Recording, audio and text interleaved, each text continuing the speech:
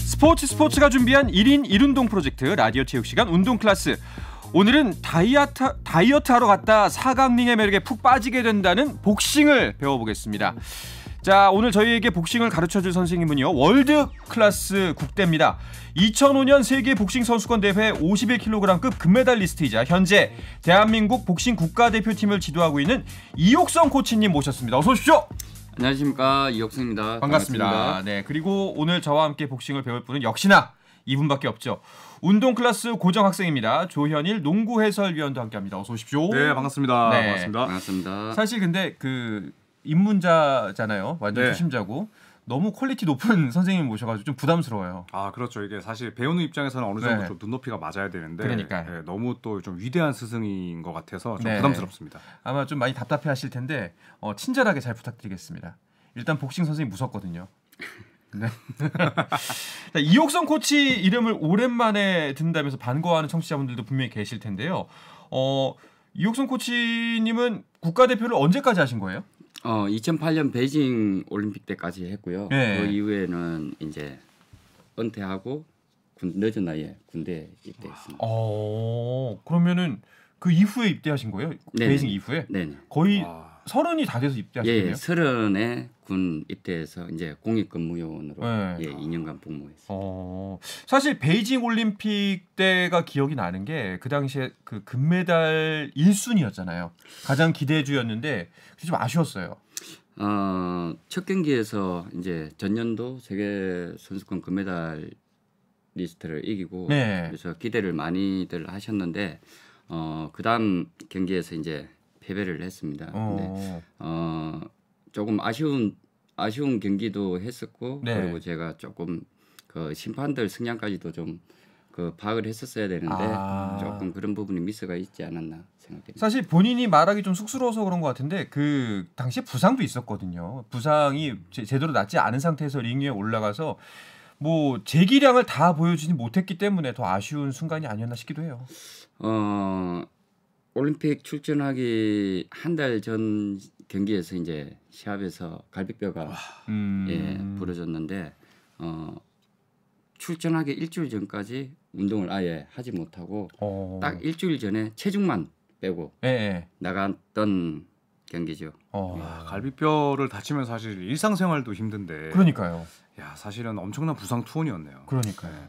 어 이제 그래도 어 선수촌에서 재활 트레이닝 통해서 그 밖에서 외부에서 훈련을 못해도 수중에서 그 런닝이라든지 다른 음. 근육 운동들을 좀 했었어요. 이제 아픈 부위에 부하가 안 가게끔 해서 운동을 좀 하기는 했는데 그래도 이제 밖에서 이제 정통으로 이제 복싱을 하고 가는 거하고 안 하고 간 거는 그렇죠. 아이, 뭐. 왜냐면은 뭐 이육성 코치님의 컨디션 컨디션이지만 그 자리에 올라오는 모든 선수가 사실 국가대표들이잖아요. 그렇죠. 어마어마한 선수들과 맞붙기 때문에 제 컨디션이어도 사실은 뭐 쉽다라고는 말할 수 없는 경기였을 텐데 부상이니까 뭐 또 더 이상 말도 할 것도 없겠죠.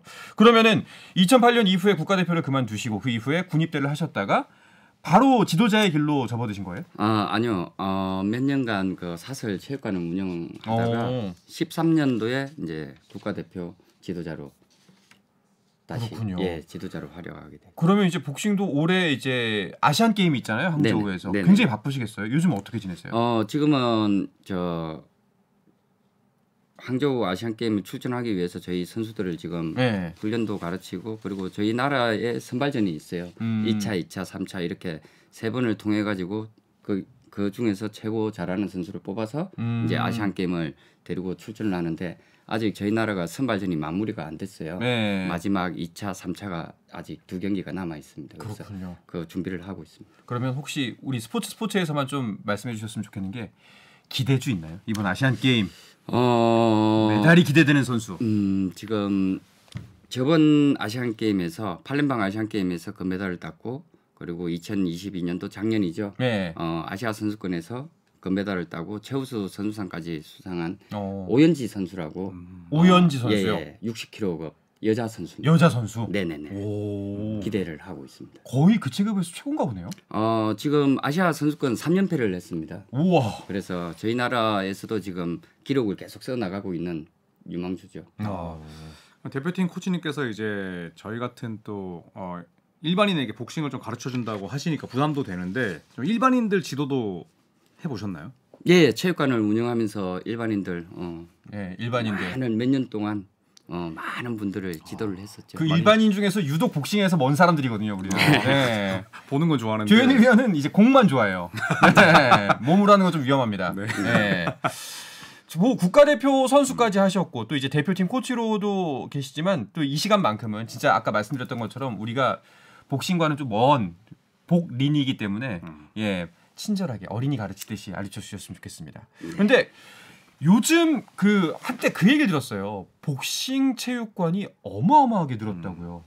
네, 지금 대중적으로 생활체육은 많이 인구가 증가해 있는 어. 상태고요. 그리고 지금 엘리트 선수들은 조금 아 엘리트 선수는 예, 줄었지만 예. 생활체육으로서의 복싱 체육관은 네네. 많이 늘었군요. 네네. 어. 왜 근데 갑자기 인기가 이렇게 많아졌을까요? 어, 생활체육이 지금 인기가 많아진 연도가 지금 한 10여 년 됐어요. 오. 어, 당시에 이시영 선수가 음. 어, 운동을 잘 하고 그리고 시합까지 나와서 어, 우수한 성적을 내고 그렇죠. 하면서 어. 어, 많은 이슈가 됐었고 아시안 게임 때 그것도 역시. 그러므로 인해서 또 마- 일반인들이 아, 다이어트와 체력에 그 좀 좋은 이미지가 있어서 많이 저는 사실 늘어났던 것 같아요. 조혜련 씨 생각했거든요.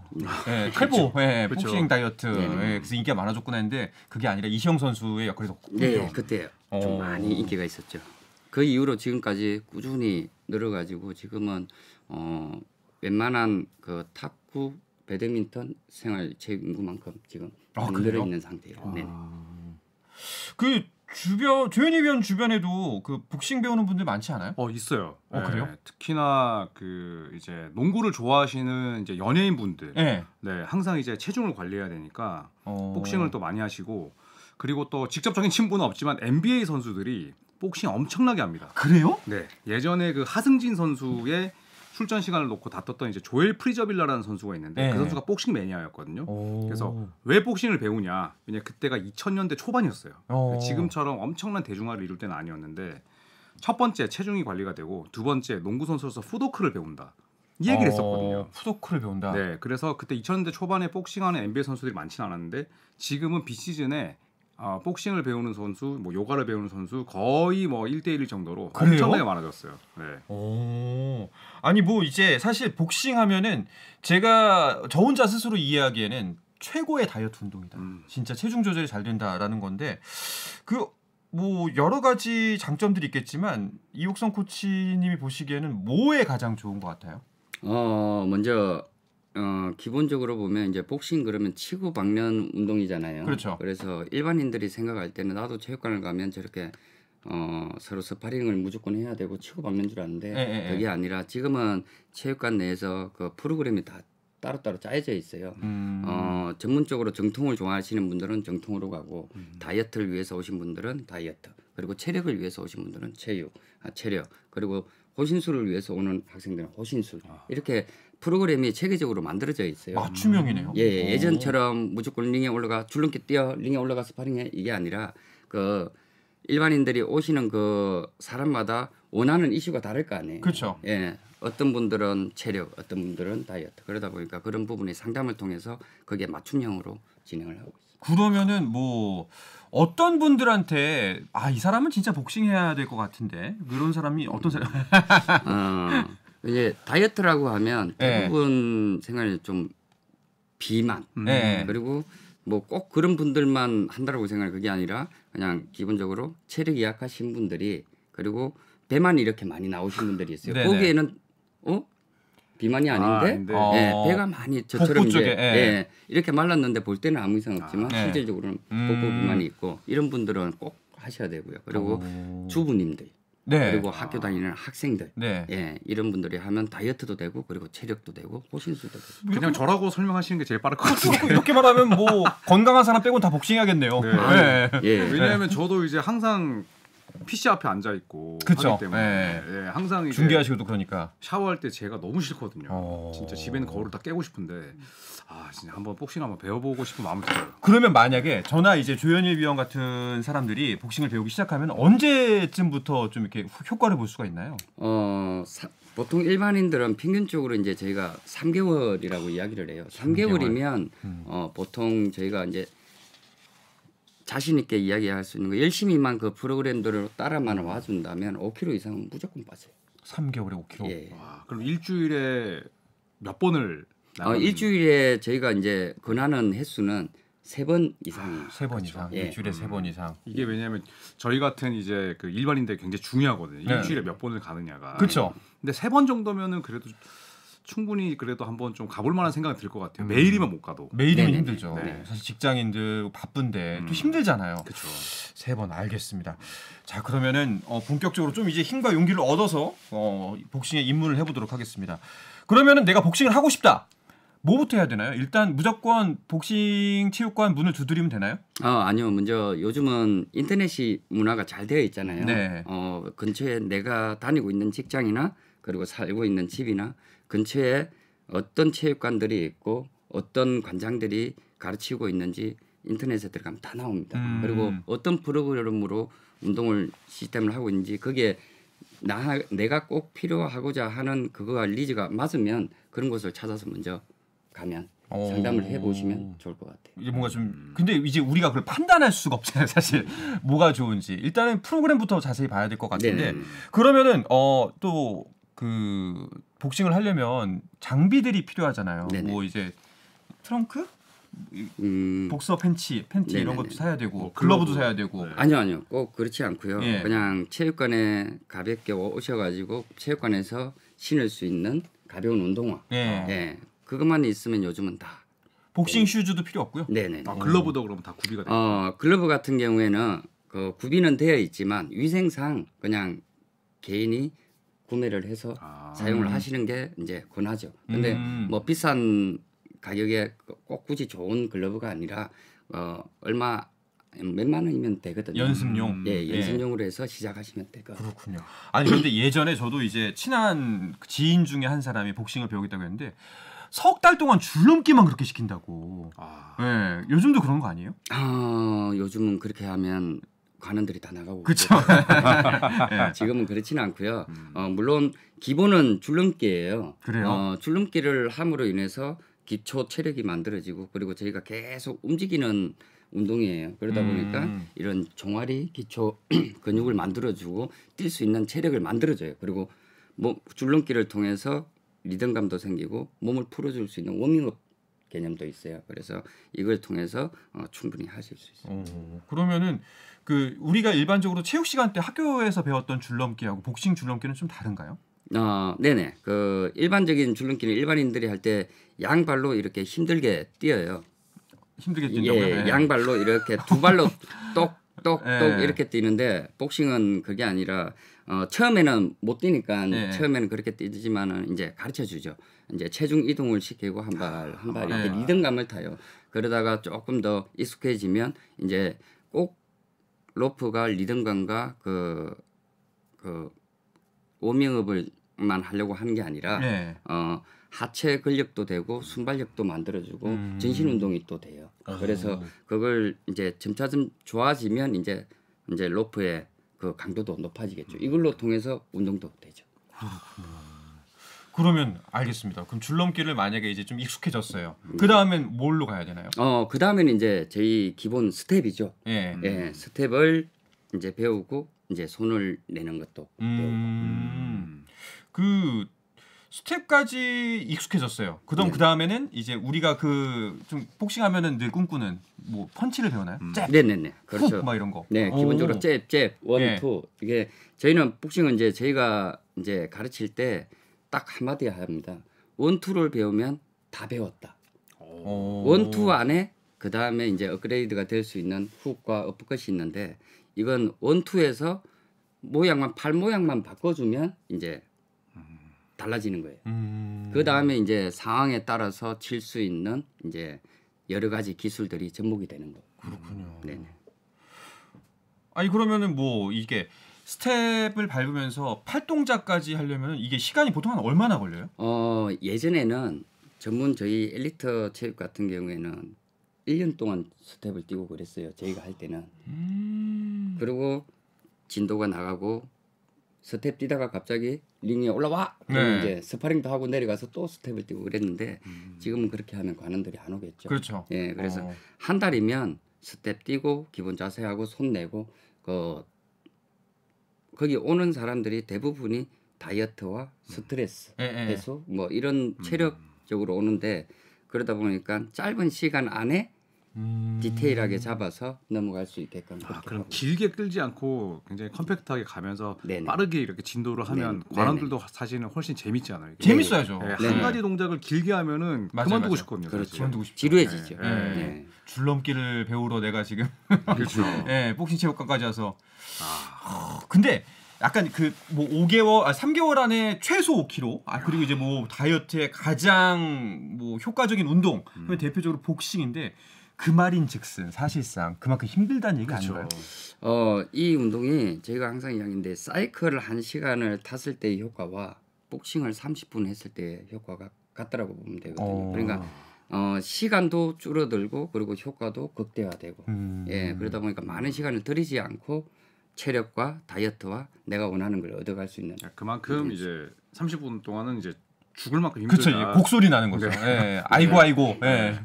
그러니까 덜 힘들고 길게 할래 아니면 확 힘들고 짧게 할래. 예, 저는 그래도 후자가 나을 것 같아요. 그래요? 복싱 훨씬 나을 것 같아요. 저도 약간 네, 예, 네. 시간도 없고 음. 차라리 알겠습니다. 어느 정도 이렇게 해서 만약에 폼이 올라온다면은 이제 복린이라고 할지라도 스파링이 하고 싶어질 텐데요. 네네. 자, 그 스파링은 잠시 후에 돌아와서 더 깊이 나누도록 하겠습니다. I said the words I never said when you were with me. 국내 유일 스포츠 매거진 라디오 한상원의 스포츠 스포츠 네, 라디오 체육 시간 운동 클래스 오늘은 한국 복싱 대표팀의 이옥성 코치를 선생님으로 모시고 저야 저와 노, 조현일 농구 해설위원이 제자로 복싱을 배우고 있습니다. 자, 이제 앞선 시간에 기본적인 폼은 배웠고요. 이제 그래도 복싱이면 일단 허공에만 주먹을 낼 수 없잖아요. 음. 좀 스파링을 하고 싶어질 텐데 보통 그 일반 사람들이 복싱을 배우기 시작해서 스파링을 하게끔 되는 시까지 걸리는 시간이 한 어느 정도인가요? 음, 사람마다 조금 진행 단계는 다 다르잖아요. 네. 근데 이제 모든 스파링을 하기 전에 전 단계가 있어요. 네. 서로 맞춤 약속 대련이라고 해서 매스 복싱도 하고 오. 뭐 해서 단계별로 어, 기술을 연습도 하다가 그 다음에 치고 박는 것도 강도를 5대5 그 다음에 7대 3 정도의 강도를 70% 80% 올려서 그게 진행이 되고 난 이후에 올라가요. 오. 그냥 바로 아 이거 다 배웠으니까 올라가서 스파링 해도 된다 이게 아니라 밑에서 단계적으로 연습을 거친 후에 올라갑니다. 어, 그러면 스파링을 할 때 저랑 좀 비슷한 수준이 낫나요? 아니면 저보다 좀 나으신 좀 고수랑 하는 게 음. 낫나요? 어 장단점은 있지만 이제 고수랑 했을 때 이제 고수가 조금 약한 강도로 해서 가르쳐 주면서 하는 방법도 있고요.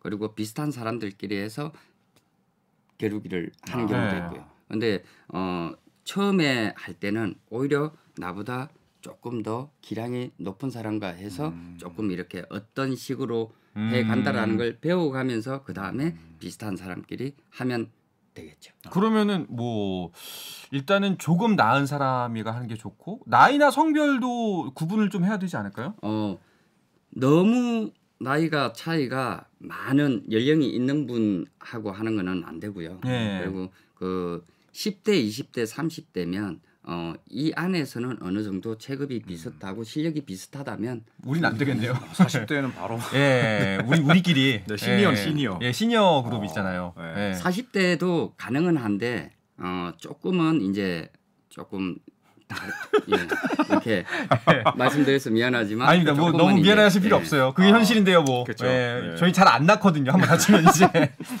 농구에서도 그 동아리 농구 가면 40대 중반 이후는 한 점씩 더 줘요. 아, 네. 비슷한 거죠, 뭐. 아, 쉽지 네. 않습니다. 그러면은 체급은 만약에 이제 조현일 위원하고 저하고 아마 몸무게 차이가 좀 난다면은 음. 저랑 이렇게 같이 배우기 시작했어요. 둘이 손잡고 복싱 체육관 가서 우리 둘이 스파링 해도 되는 건가요? 어 충분히 그 안전을 음. 장치를 만, 마련해 놓고 네. 하는 건 무난합니다. 괜찮습니다. 오. 어. 스파링 할 때는 장비도 잘 갖춰야 되겠죠? 아 무조건 어. 무조건 자 그게 안 갖춰지고 하면 무조건 사고가 나고 부상이 음. 그러면 발생할 수밖에. 뭘 해야 되나요? 뭐 글러브 끼고 글러브 끼고 헤드기어 착용 제일 중요한 마우스피스. 아, 오. 마우스피스. 네네. 사실 농구도 마우스피스를 많이 끼잖아요. 요새 엄청나게 끼죠. 예. 네. 이게 워낙 직접적으로 부딪히는 종목이다 아, 보니까 네네. 아, 그게 네. 힘을 내려고 끼는 게 아니라 다칠까봐 끼는 거군요. 아유 그럼. 다치는 걸 방지하고죠. 오, 네. 알겠습니다. 그러면은 이제 동호인 수준의 스파링은 한 어느 정도로 진행이 되나요? 어 보통 일반적인 체육관마다 다르지만 시작은 2분 3라운드 정도. 음. 만약 하다가 중간에 어 조금 무리가 있다 그러면 이제 서답하고요.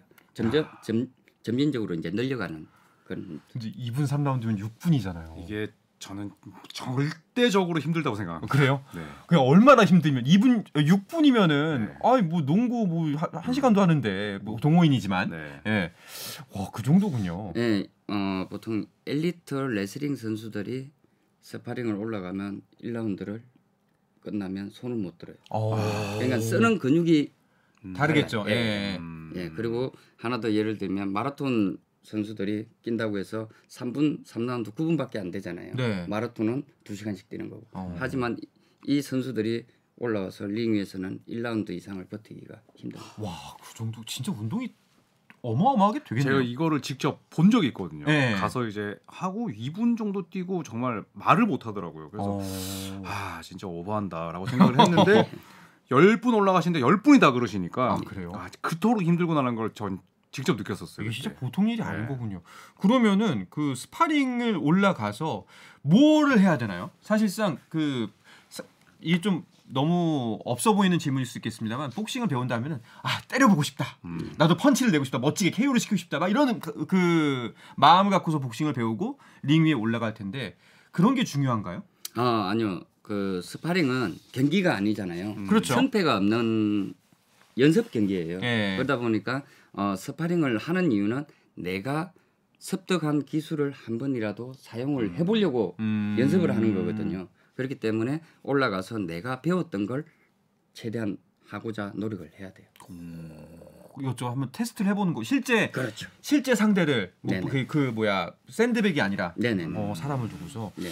그러면은 그 모든 스포츠 경기에는 이제 각 고유의 매너들 서로 지키는 예의 같은 게 있잖아요. 네네. 복싱에는 어떤 것들이 있나요? 어, 복싱에는 시작하기 전에 이제 인사를 나눠요. 네. 예, 인사를 시키고 뭐 엘보라든지 뭐 이런 버팅이라든지 뭐 낭심을 때리면 안 된다든지 음. 그런 부분을 주의를 주고 시작을 해요. 그래서 인사를 먼저 하고 그리고 경기 중에 상대가 돈다든지 그렇게 했을 때 후두부라든지 이런 아. 부분을 가격을 못 하게끔 어, 하게 돼 있고요. 그렇군요. 네.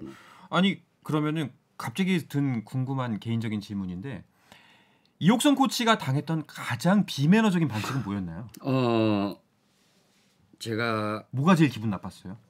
올림픽 때 그랬고 예. 그리고 연습 경기 할 때도 한 번씩 이렇게 당한 경우들이 있는데 어, 마지막 끝날 때 벨이 울리잖아요. 음. 공이 울리죠. 땡 하고 울리죠. 공이 울리고 난 이후에 가격을 하는 선수들이 있어요. 일부러. 아 일부러가 아니라 예. 그게 이제 집중을 해서 하다 보니까 음. 그벨 소리가 안 들리는 거죠. 어. 그러니까 그 정도로 이제 경기다 보니까 좀 흥분해 있는 상태. 예. 저는 그럼 궁금한 씻을 게 수도 있고 네. 뭐 이, 일부러일 수도 있고 일부러 했을 수도 뭐 있고 뭐알 수는 없지만 속은 모르지만 예. 예. 음. 저는 궁금한 게 그러면 이구성 코치께서 본의 아니게 다른 선수들에게 했던 더티 플레이가 있어요.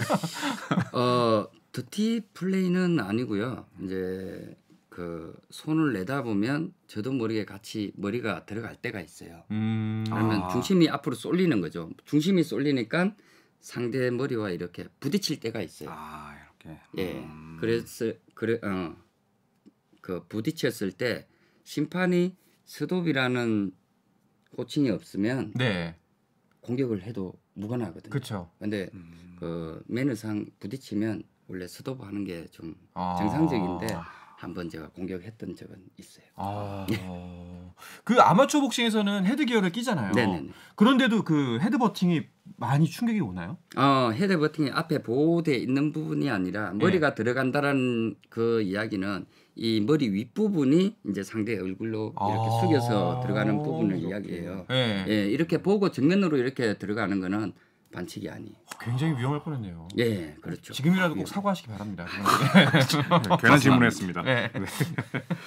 그러면 네. 네, 뭐 또 스파링 이후에 이렇게 또 제대로 뭐 정리를 한 것도 정리를 하는 것도 되게 중요하다고 하더라고요. 예, 그건 기본 매너죠. 음. 자기가 사용한 거는 그 원자리에 이렇게 정리를 음, 해놓고 음. 마무리를 하는 게 그렇군요. 매너입니다.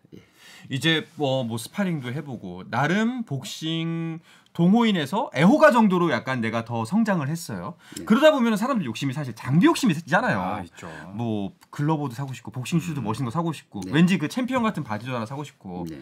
그럴 때 약간 주의해야 할 것들이 있을까요?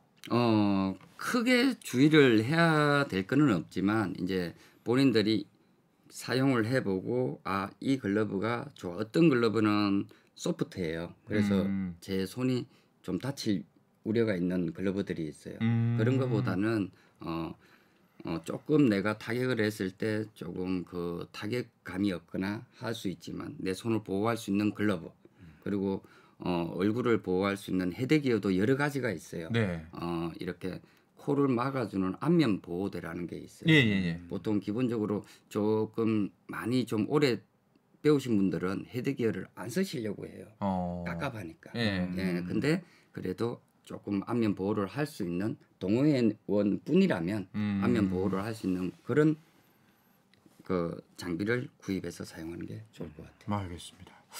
그러면 이제 복싱을 내가 오랫동안 즐기고 싶다. 그럼 이제 조심해야 될 것들이 있을 거잖아요. 네네. 어떤 부분들이 있을까요? 어, 모든 운동이 똑같지만 시작할 때 준비 운동과 마지막 끝날 때 정리 운동을 제대로 해주지 않으면 음. 오래 할 수가 없어요. 조금 강도가 세진다. 근데 준비 운동이 안 됐다. 음. 그러면 관절이라든지 근육들이 다칠 위험들이 있어요. 네. 그리고 끝나고 난 뒤에 얼마만큼 빨리 회복을 근육을 회복을 시켜주느냐가 문제거든요. 어. 그때 이제 정리 체조를 잘 해주면 꾸준히 오랫동안 할 수 있는 거예요. 알겠습니다. 오늘 이렇게 이옥성 코치님 모시고 복싱을 배워봤는데요. 어 아무래도 또 평생을 복싱에 바치신 분이니까 이 복싱을 정말 많은 사람들이 더 사랑해줬으면 좋겠다 하는 바람이 있으실 것 같은데 네. 어 복싱 이래서 재밌습니다. 꼭 복싱 사랑해 주십시오 하는 뭐 말을 좀 해주시면 어떨까요? 어, 제가 매번 하는 말인데요. 음, 이해가 되실지 모르겠지만 저는 마약이라고 표현을 매번 하거든요. 어. 한번 처음에 할 때는 어, 뭐 그냥 운동이니까 해야지 이렇게 접근을 했다가 하다 보면 그 매력이 끊을 수가 없는 마약과도 같다라고 제가 그렇게 표현을 하거든요. 어, 복싱은 스트레스 그리고 다이어트, 체력 이 모든 부분에서 좋은 운동입니다. 그리고 짧은 시간에 할수 있는 충분한 효과를 얻을 수 있는 운동이고 네. 그래서 많은 분들이 좀 사랑해 주시면 감사하겠습니다. 알겠습니다. 네, 이제 또 아시안 게임 항저우 아시안 게임이 얼마 남지 않았고 저도 오늘 방송을 하고 좀 지켜보고 싶은 생각이 드는데 네. 이 항저우 아시안 게임에서 어, 복싱을 좀 어떻게 보면 좀 즐길 수 있을지 관전 포인트를 좀 짚어 주십시오. 음, 쉽게 생각하면 어, 복싱은 많이 때리고 안 맞으면 이기는 경기예요. 네. 근데 어, 둘 양 선수가 다 충분히 뛰어난 선수들이 나오는 경기거든요. 그렇죠. 아시안 게임은. 이때 어떤 사람들이 좀 기본적으로 잘 손이 잘 올라가 있고 그리고 움직임이 더 좀 자유롭게 움직인다든지 어. 상대를 좀 많이 속이는 동작들이 있는지 네. 그리고 때릴 때 조금 더 파괴력 있게 때리, 때리는지 네. 예 그런 부분을 좀 더 집중적으로 보면 어, 더 좋은 어, 더 재밌게 볼 수 있지 않을까 생각됩니다. 알겠습니다. 자 오늘 이렇게 복싱도 배워보고 또 우리나라 복싱 대표팀 이야기도 해보고 또 이제 아시안 게임 유망주에 관한 이야기도 들어봤습니다. 조현일 위원 어떠세요? 복싱 배우고 싶은 생각 드세요? 아 있죠. 저는 어. 항상 어떻게 하면 정말 얼굴이 좀 작아지고 배가 들어갈 수 있을까 네. 항상 생각을 하는데 네. 관심도 생겼고 또 저희 아버지가 어릴 때부터 엄청나게 복싱 좋아하셨어요. 그래요? 네, 그래서 제가 오. 어릴 때부터 복싱을 진짜 많이 봤는데 네. 또 이렇게 복싱 레전드와 함께 방송을 할 수 있어서 즐거웠고 또제 몸뚱아리에 대해서 또 반성도 하게 됐습니다. 네. 알겠습니다. 정말 단시간에 운동 효과를 최대한 볼 수 있는 운동 복싱 오늘 그 매력 제대로 느꼈던 것 같습니다. 아시안 게임도 응원하겠고요. 또 꼭 메달 따셔서 같이 선수와 함께 코치로 또 저희 스포츠 스포츠 방문해 주셨으면 좋겠습니다. 자 라디오 체육 시간 운동 클래스 복싱 편은 여기서 마치도록 하겠습니다. 한국 복싱 대표팀의 이옥성 코치와 함께했습니다. 오늘 고맙습니다. 감사합니다. 네, 조현일 위원도 고맙습니다. 감사합니다.